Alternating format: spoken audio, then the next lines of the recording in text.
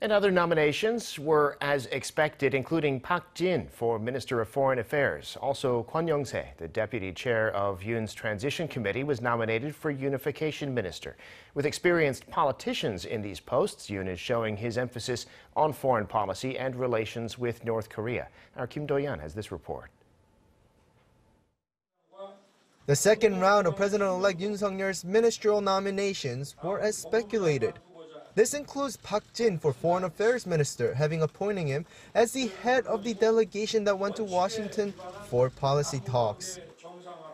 외교 현장의 풍부한 경험을 바탕으로 교착 상태에 빠진 우리 외교를 정상화하고 한국이 국제사회에서 책임과 연대를 다하는 글로벌 중추국가로 거듭나는데 크게 기여할 것으로 판단했습니다.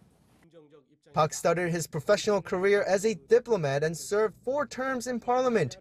There, he led the nation's lawmakers in relations with the U.S. As for the unification minister nomination, Yoon named his close party confidant, Kwon Young-se. An experienced lawmaker, Kwon also currently serves as the deputy chair for Yoon's transition committee and was South Korea's ambassador to China in the past.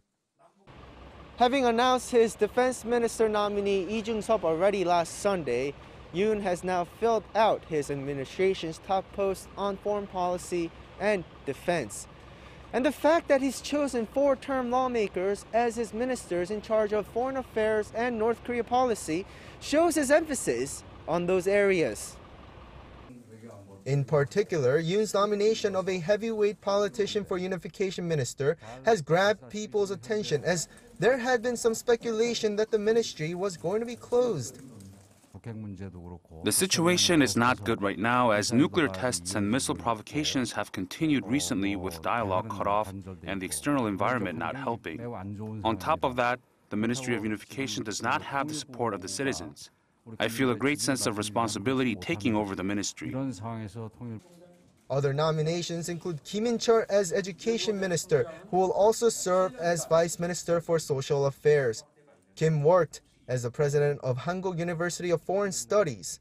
For the Interior and Safety Minister, former Judge Lee Sang-min was nominated, while Lee Young, a current National Assembly member, was announced as his push for Minister of SMEs and Startups, followed by Han Wha-jin, for Minister of Environment and Cho Seung-hwan for Minister of Oceans and Fisheries. 김도현, 아리랑 뉴스.